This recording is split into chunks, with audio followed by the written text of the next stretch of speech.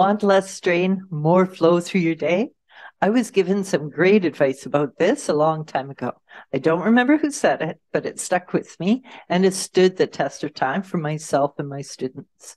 They said, when I get stuck or find myself straining too hard without getting traction, I probably either rushed, skipped, or overlooked a step. And even though it sometimes feels counterintuitive, especially if I'm on a deadline, I know now that it's usually true. I get further, faster, when I go back to complete the step before. Hi, I'm Arrow Gonsalves. I've been empowering entrepreneurs to build profitable businesses by mastering their inner game through ancient Eastern practices since 2003. So I was thinking about this today, how there's three main categories of strain that basically, with each category, the solution lies in self connection. So, first, there's physical strain. And physical strain gets released through movement and breath work by releasing tension from your muscles and your joints, by circulating fresh energy through your meridian pathways, by strengthening your core to cultivate qi energy. As qi energy flows freely between your brain and body, it flows freely in your business and your daily life as well. My Qi-Energetics members often say they're amazed how cultivating qi energy creates more ease in their life and business. Then there's also the emotional strain of developing new skills and habits to make your impact. Releasing emotional strain starts with getting clear and focused on what you want and your priorities by harnessing your mind and your energy to take decisive action. And this is important because many people make the mistake of waiting to have the confidence to move forward into new territory. They get caught in a cycle of fear, perfection, and procrastination, needing everything to be perfectly executed or aligned as they move forward. But confidence only comes from experience. Gathering courage and taking action to measure your results and develop your skills is what's required. As you take brave action, your brain verifies the results. And as you develop your skill, your confidence builds. And if you want to know more about this, see the links below how to liberate yourself from fear and procrastination.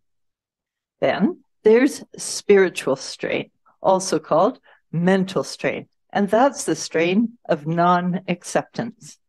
So it's easy to get caught up in the could have and should have monologue of wishing people and situations were different than they are. Oddly, we generally don't see the roots of mental stress within ourselves we're more likely to attribute the blame to others or situations we believe are outside our control. And especially when we layer it with our moral values of what's good or bad or right or wrong, then this falls into the category of conducting the same behavior over and over and expecting a different result. It's a kind of stubbornness. It can foster instability quagmire productivity, and sabotage working relationships. So, not surprising when you think about it, mental stress tends to rise up and haunt us in the quiet of the night. Mental stress is a spiritual issue. It's released, actually, it gets dissolved through self connection and the wisdom that comes from that self connection that we all have within us in our brain.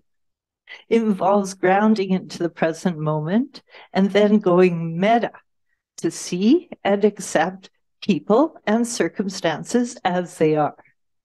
So it's a paradox that the act of acceptance, not to be confused with apathy, brings the awareness we need to shift from fear based reaction mode into a proactive state of calm and peaceful control. Meditation is great for this because it provides you with a meta viewpoint to see your emotional attachments and observe any hidden motivations and unrealistic expectations more objectively without getting stubborn, self righteous, or sentimental. So the wisdom to know what, when, and how to accept frees your mind to shift out of the problem and into the solution objectively. Recalibrate to zero at will and relax into a more effective approach.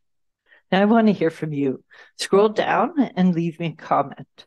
Tell me how you like to release stress and achieve flow state in your life and business. I read them all. And if you're watching this on YouTube, hit the subscribe button. And if you want to know more, check out the links below.